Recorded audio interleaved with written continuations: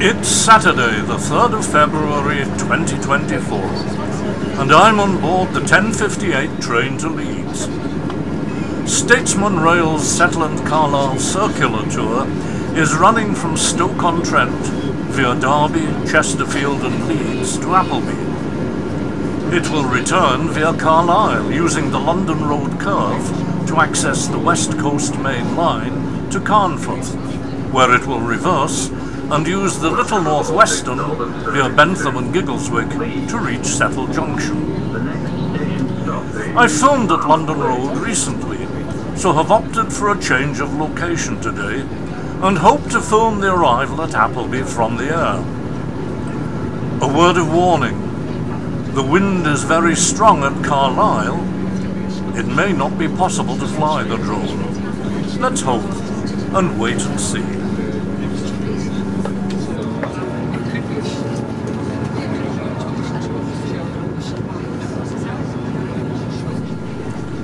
At Petteril Bridge Junction, we separate from the Tyne Valley line to Newcastle and make our way towards the Eden Valley and the spectacular Settle and Carlisle. Four miles out, we speed through the old Cumwhinton station, closed in 1956.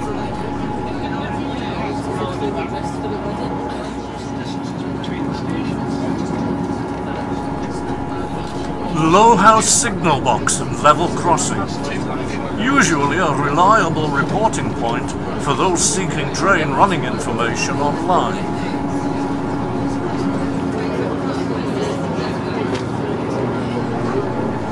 Then we cross Drybeck Viaduct, more impressive from the ground than from the train.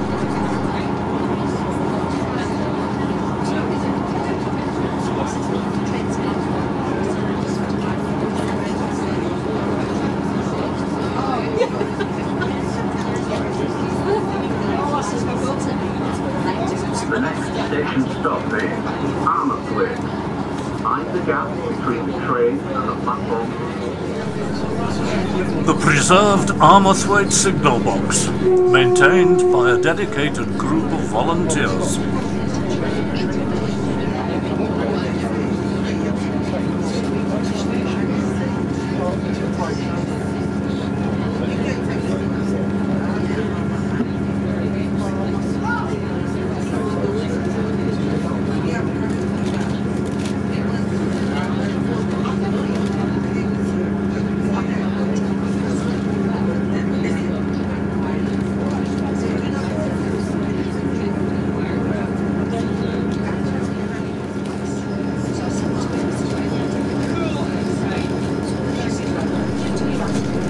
Low Baron Wood, we plunge into a tunnel, the first of 14 between Armathwaite and Settle.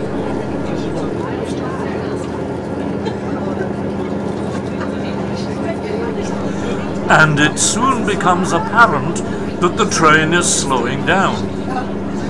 Recent storms and floods have left the trackbed somewhat less stable than it should ideally be.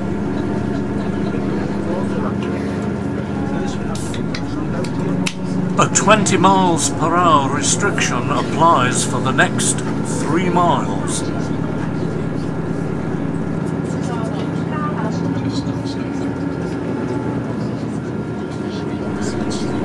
Lazonby and Kirkoswald.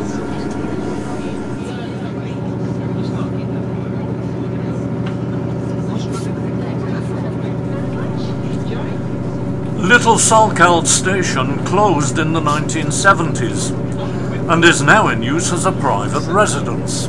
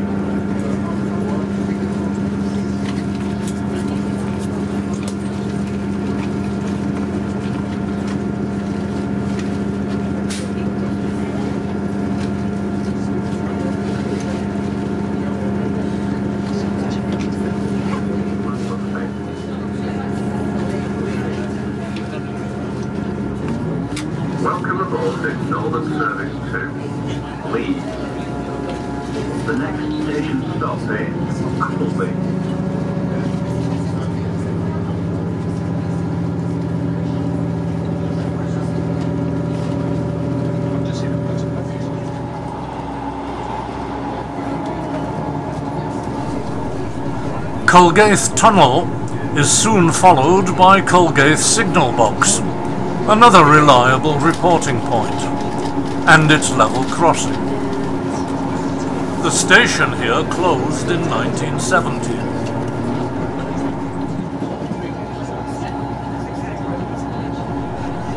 Soon we pass the British Gypsum Works at Kirkby Thore, a source of freight traffic for the line.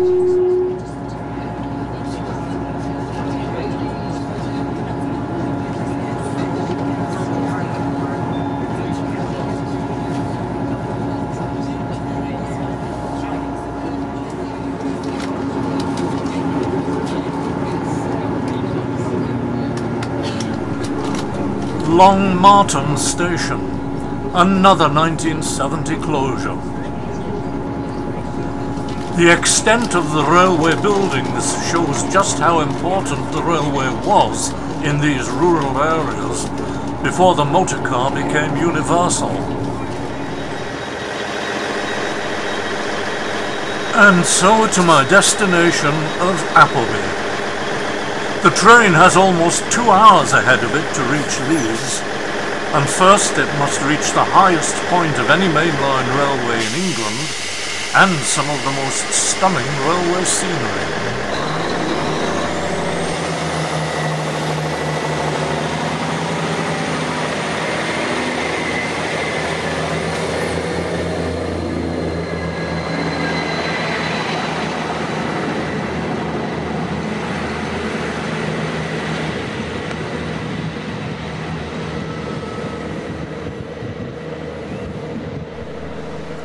And now I'm greeted by a local enthusiast with the news that the northbound service train and the special are delayed at Gargrave following a fatality on the track.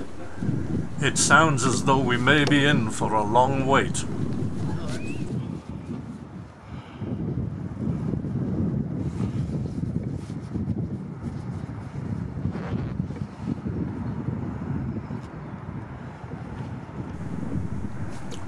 This strange little setup was sitting in the centre road at Carlisle as my train awaited its path.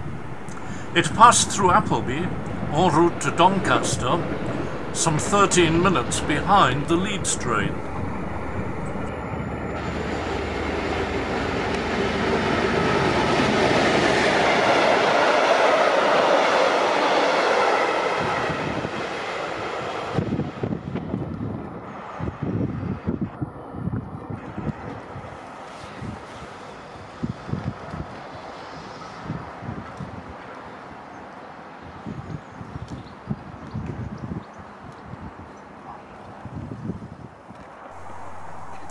There's a gap of almost an hour before the next train. The delayed Leeds to Carlisle, and it's none too warm out on the platform, so I retire into the waiting room for some warmth and a read.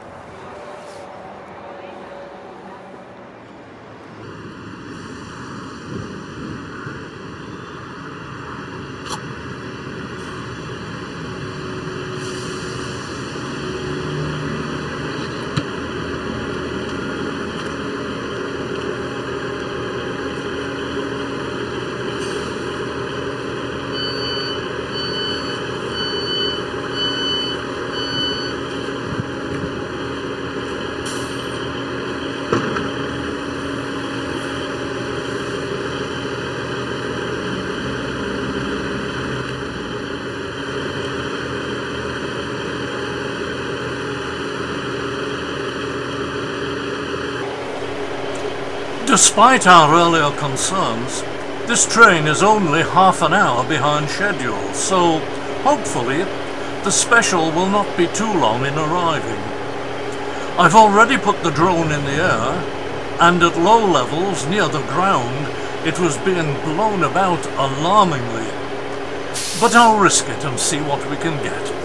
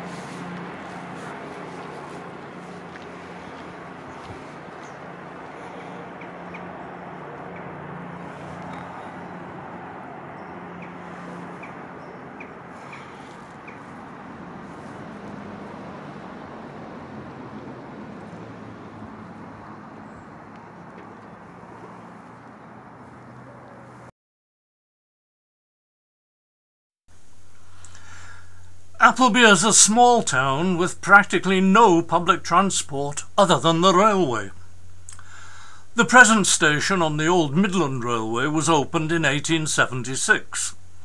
It was named Appleby West, as an older station, Appleby East, existed on the Eden Valley Railway's route from Penrith to Kirkby Stephen, with ongoing connections to the northeast of England.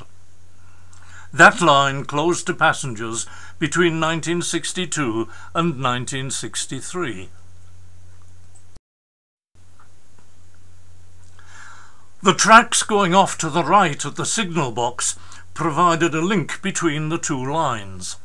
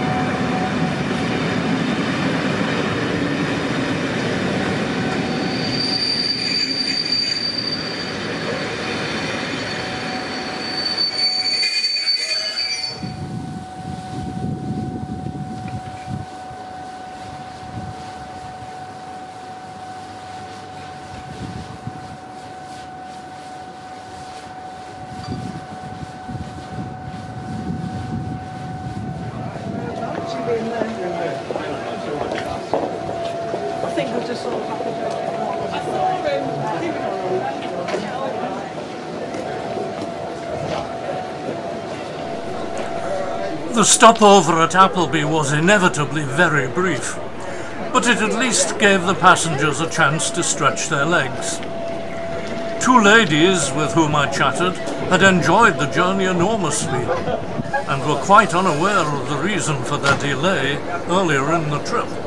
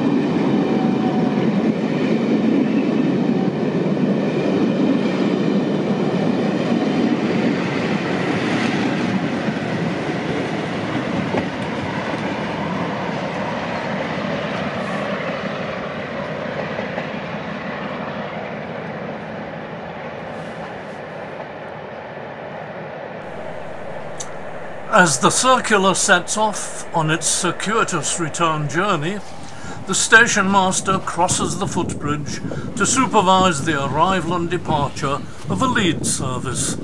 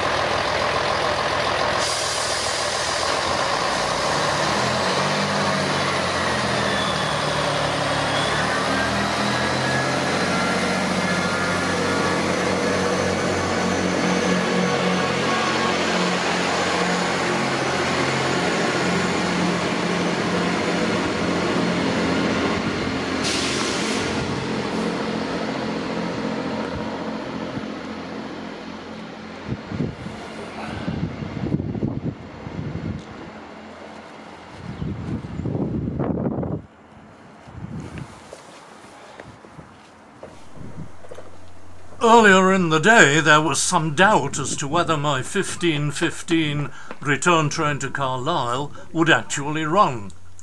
But thankfully it did, and ran on time, making the tight connection to a Dumfries train and getting me home in daylight. Just. Thanks for watching, and here's to the next time.